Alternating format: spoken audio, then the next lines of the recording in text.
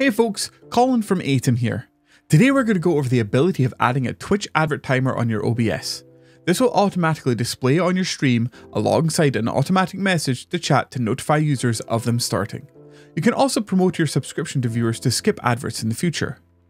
Before anything, you'll want to head on over to aitum.tv forward slash imports, scroll on down and hit the download next to the 3 minute ad timer.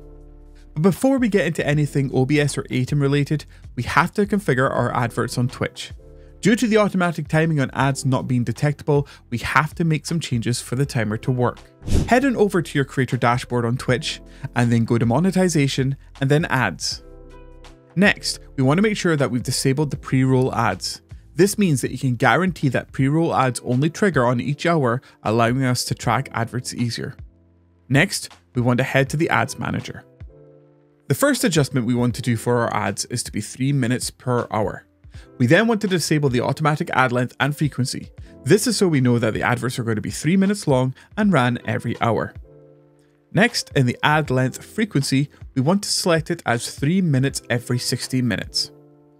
And finally, we want to select a start delay of 1 minute. This means that for the first hour of your stream, you will not be interrupted. And if you run a starting soon screen, this means it will pretty much go unnoticed. Now it's time to head across to OBS. First of all, we want to add in a text source. This will sit next to the timer. Keep the text relatively small and set it to something like ads. Next, we want to add a browser source. Make sure you set it to 180 in width and 80 in height. And be sure to select refresh browser when scene becomes active. Hide both of these sources for the time being and load up Aitum. Inside Aitum, head to the Rules section and click on the Import Export button on the top right. Select Import and then drag or select the file we downloaded before. In the first step, select your OBS integration. Next, select your two sources we set up before in OBS. The first source is the text source for the advert label, the next source is for the browser source we set up for the timer.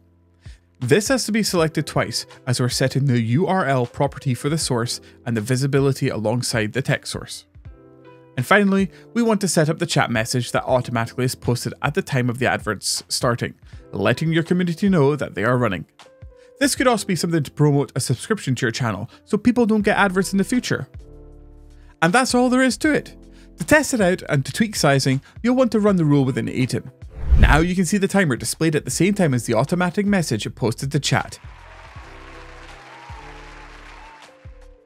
I hope this video was helpful and if you have any questions or if you have created something very cool to show us, feel free to join the Discord or follow our Twitter. Links to both will be in the description down below.